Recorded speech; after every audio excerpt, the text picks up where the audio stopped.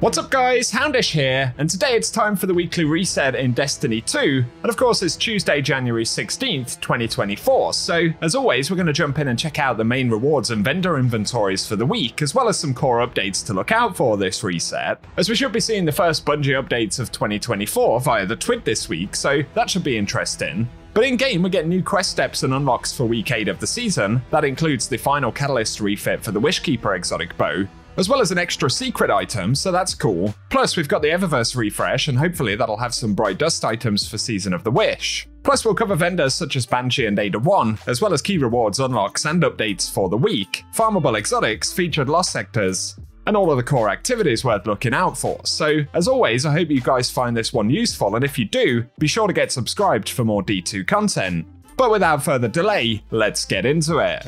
And the first thing worth mentioning this week is that we should see the final exotic quest for the upgrades for the Wishkeeper exotic bow. So this time around, we'll unlock the Hatchling refit, and that in itself will be interesting to try on the weapon, but additionally, we'll see the finale for the Starcrossed mission itself. There's actually a hidden emblem in the database called Well Tended Garden, and it's associated with Starcrossed, so presumably, with this being the final week, we'll be able to unlock that, but as always, I'll keep you guys posted. Otherwise, core seasonal quest steps for the story have wrapped up as far as we know, so unless we get an additional finale or something later on in the season, weekly quest steps are no longer going to be a thing for a little while. And first up today, as we get into the game right here, we can see there is bonus infamy for the take-in, so if you want to level up with the Drifter, it's a good week to dive into Gambit. Otherwise though, we do get new seasonal challenges for week 8, things like completing the Starcrossed mission, there's a bunch that we covered in the reset video right here. And otherwise, we get into the Eververse store for the week right here. As always, we'll focus on Bright Dust items. We do have the ornament for the Wishkeeper right here, uh, which is up for silver. But for Bright Dust stuff, here on the front page, we've got the Dawn of Invention exotic emote,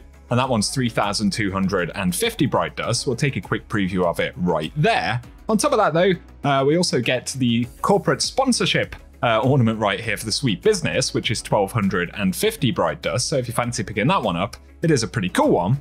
But then we have the Pyramid Entrance Transmat effect for 450 Bright Dust on the front page right here, so we'll take another quick look at that. And additionally, we've got the Luminous Void Shader available for Bright Dust this week. This was a silver purchase uh, a couple of seasons back, so uh, now available for Bright Dust once again. I think it has been in the store for Dust previously. But on top of that, we've got the Aposematism shader. Once again, this is 300 Bright Dust from back in Season of the Splicer. But for the second page of Bright Dust items, initially, we've got the Simon Says exotic emote, which is 3,250 Bright Dust, as always, right there. A pretty cool one. On top of that, though, we've got the Times Ticking, which is a rare emote available in the store this week, and this one is 400 Bright Dust. And then there is the convertible shell, uh, Ghost Shell right here, which is 2,850 Bright Dust this week, a rather curious looking thing.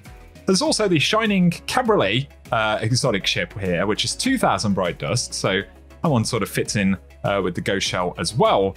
And then moving on, we've got the Omen of Saturn, uh, which is an exotic sparrow. This one is 2,500 bright dust. And of course, now that sparrows have all been updated to top speed, uh, some of these may be a bit more appealing for some folks. Then for the Trespasser this week, we've got the Shiro's Watch uh, ornament right here, which is 1250 bright dust. So pretty cool Shiro 4 themed ornament uh, right there in the store. On top of that, though, there is the Lost Projection. As always, these are 1500 bright dust. I'm not sure why those things are so expensive, but for the second page of featured shaders here, we've got the Metropolitan Acoustics. Once again, all of these will be 300 bright dust. On top of that, there is the Vibrant Medusa, which is one that shows up in the store quite often.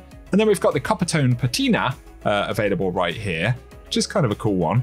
On top of that, though, there is the Boreal Char, uh, from back in Splicer once again. So let us know if you'll pick any of those up. But then we've got the Tiger Effects Transmat effect. As always, these are 450 bright dust. Additionally, there is the Swirling Leaf entrance, quite autumnal, I suppose. And then we've got the Phosphine Stimulus available here in the store this week, which is uh, a new one for this season. So uh, let us know what you think of the Eververse store. A couple of decent ornaments and things like that. So let us know in the comment section what you plan to pick up. But heading over to Banshee for the moment, we've got the Lunulata 4B with Ensemble and Headstone for grabs in the store. There's also the Iota Draconis fusion rifle, which has got Feeding Frenzy and Adagio, then the True Prophecy hand cannon, which is Grave Robber and Rampage, as well as the Legal Action Pulse rifle with Surplus and Osmosis, but finally the Palmyra B, which has got Surplus and Lasting Impression. So let us know if you grab anything here, but keep in mind these weapons will change throughout the course of the week. But finally, here at Ada 1, she's got the Tangled Web set of gear this week, so if this is something older from uh, collections that you want to pick up, of course you can give Ada a visit. But for the shaders, we've got the Vitrified Duality. These are always 10,000 Glimmer, so a quick look at that one right there, kind of a nice one. And then we've got the new Pacific Rush, one of the old Totem Destination shaders, which very often comes up, and Dead Orbit's Fate, which is an older faction shader, which Ada has very often as well, but maybe some useful ones to pick up if you haven't already got them.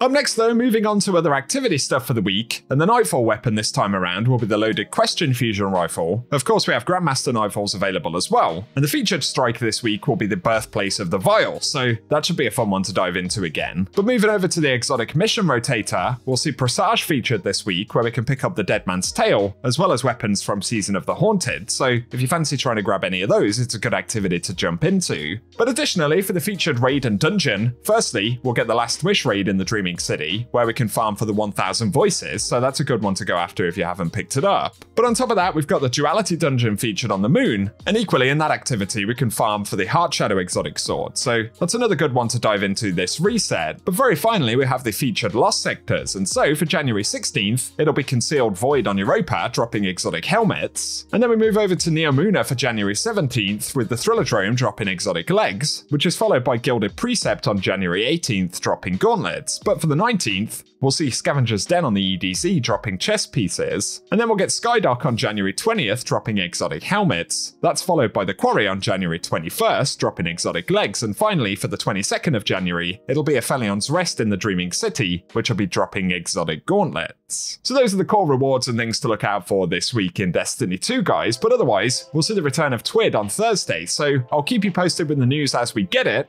so definitely stay locked in on the channel, get subscribed, and turn on notifications if you want to stay up to date. But otherwise, I appreciate you tuning in as always. Let us know if you're diving into the game this week in the comments section as well. But otherwise, thank you guys for watching today, and whatever you get up to, I will catch you all very soon.